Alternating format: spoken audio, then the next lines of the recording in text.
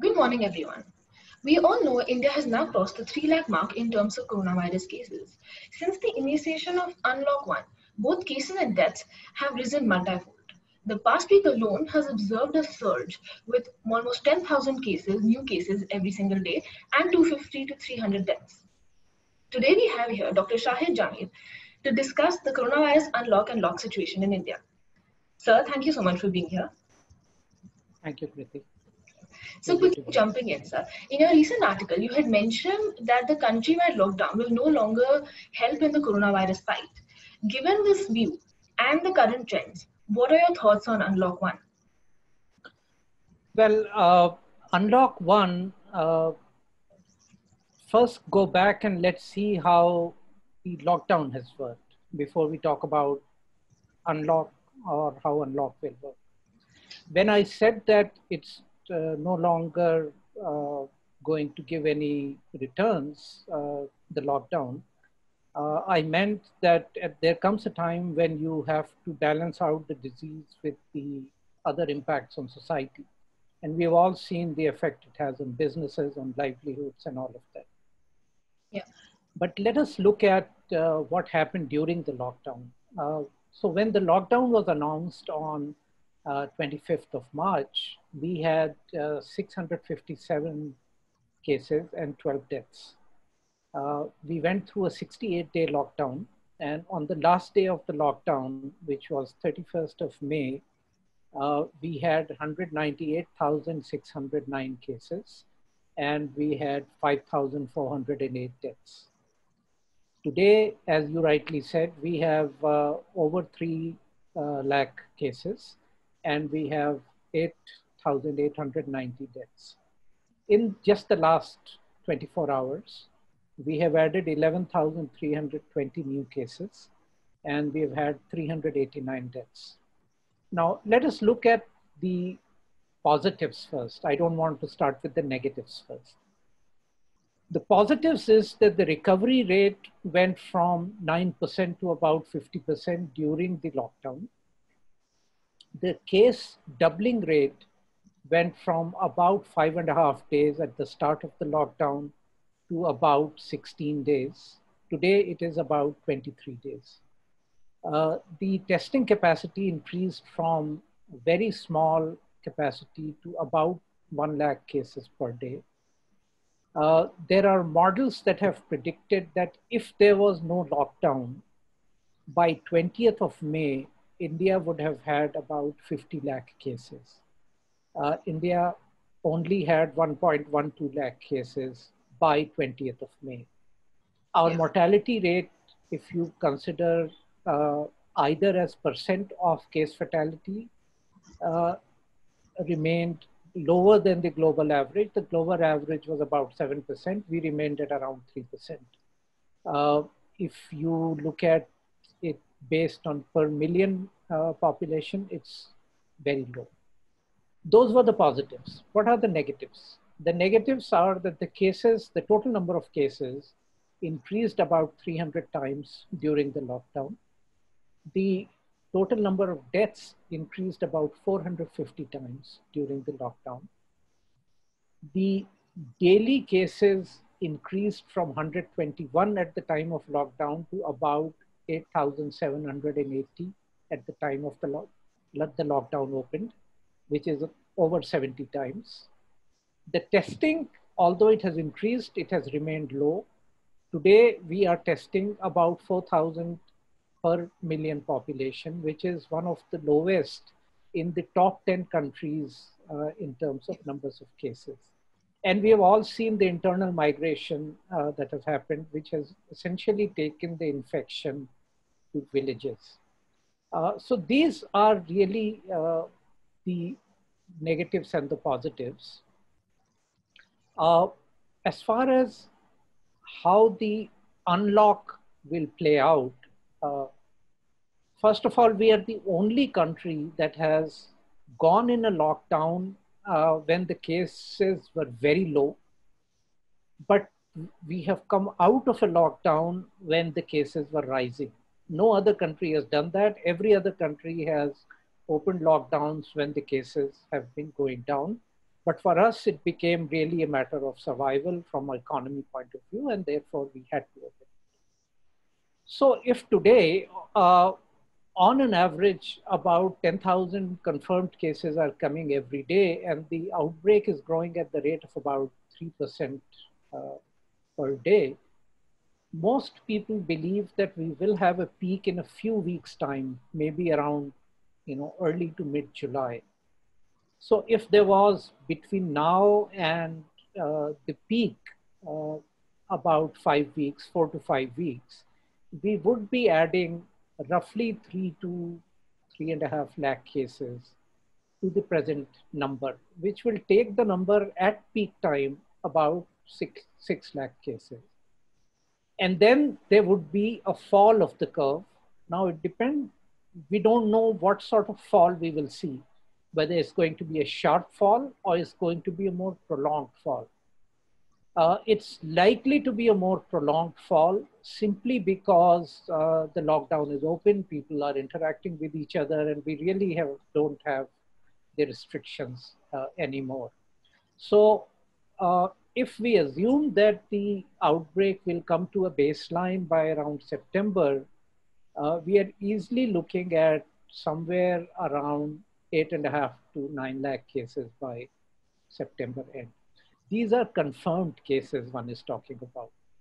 However, you may have seen uh, the Sero survey that has come out just recently, where ICMR has claimed that in 83 different districts in the country, and they have sampled more than 26,000 people, uh, the population infectivity is around 0.73%. If it is 0.73%, then for India's population, it translates to about 1 crore. So there are about a crore people right now who are infected.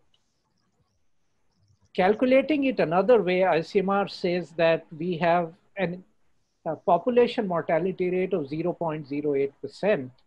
If we calculate infection based on that, Today it comes out to be about 2 crore people infected. And I think that's a reasonable number. Uh, we should not worry too much about these numbers because 80% people will remain asymptomatic or mild.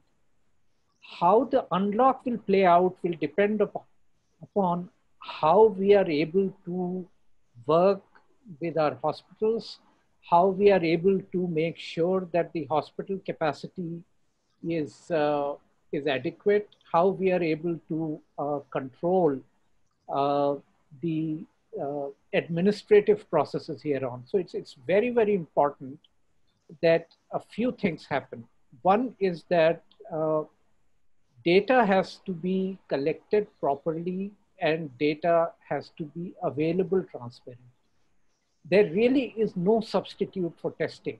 Uh, unless you test, you don't know where your hotspots are. You don't know where to control, where to uh, relax.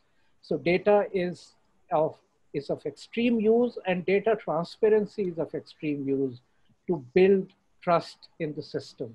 Unfortunately, much of that is not happening. The, the uh, effort is to hide data uh, to avoid creating panic. Uh, but it would be much better if the government released the real data uh, and then it would build trust in government. And I'm not saying any one government, both state government, central government, local governments, everyone, all of us are, are, are part of this. So really how the lockdown will, unlock will play out will depend upon these factors. Now I'll yes. stop there, yeah. Yes. So you mentioned in the middle about how the uh, uh, the health system, you know, uh, has to be very uh, on point for the unlock situation to be positive for us. And we do know that our health system is under extreme distress. In such a scenario, do you think shifting the mildly symptomatic uh, patients to makeshift facilities or home isolation will be uh, will be successful so that hospitals can actually keep hospital beds for patients in dire need? What yeah. options do you think authorities have in uh, this regard? So personally, I think it's a good move to have home isolation uh, yeah. because people who really don't need to be in a hospital shouldn't be in a hospital. uh, mm-hmm. simply because hospitals are also the uh, the most worrisome place for getting other infections. Uh, so you know, home isolation, home care, and I see at least in Delhi, a number of hospitals have come out with these packages where you can isolate yourself at home and they will provide online care and they will provide oxygen and equipment and you know, everything that you may need. Yeah. Uh, so it's a good move. But how many people in our country can afford self-isolation? Uh, if you are living, uh, a whole family is living in one room, how will you self-isolate at, at home? Uh, if you are in a village living in a, in a small, uh, you know, dwelling, how will you self-isolate yourself? And that, therefore, it is very important to have community isolation. So if, for example, in a neighborhood, one can designate one building which will be an isolation for everyone in that mohalla or in that gully, uh, and let that be monitored by the community. Mm-hmm. It brings trust, it brings faith. Person is close to where they live normally. Uh, it will be much easier on them than to be isolated, you know, uh, somewhere where you know they have no bearings. So I think it's very very important for now community isolation uh, to be looked at. The same can be applied to villages. Our inf- the infection has gone to our villages. So mm-hmm. can we, for example, have an isolation at one end of the village where anyone who has to be isolated can be isolated there.